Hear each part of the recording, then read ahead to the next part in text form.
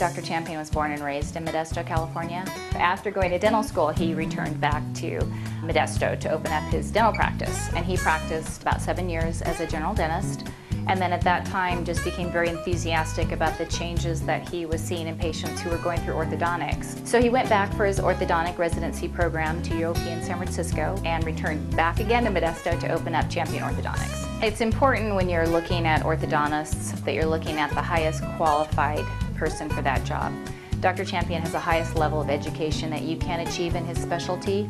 In addition to that, he's chosen to be board certified. It's very important to Dr. Champion and the entire staff that it's a comfortable environment, but it also needs to be a very clean environment. He takes pride in anywhere from the waiting areas to the exam rooms. He has a state-of-the-art clinic that all of our patients are seen in, as well as a hospital-grade sterilization unit room that he's also equally proud of. The staff here is wonderful. Not only is it important to choose an orthodontist that has been well educated and that is competent in his field, but you will be spending an enormous amount of time with his staff. You're never going to find a harder working staff who cares more about the patients that walk through the door.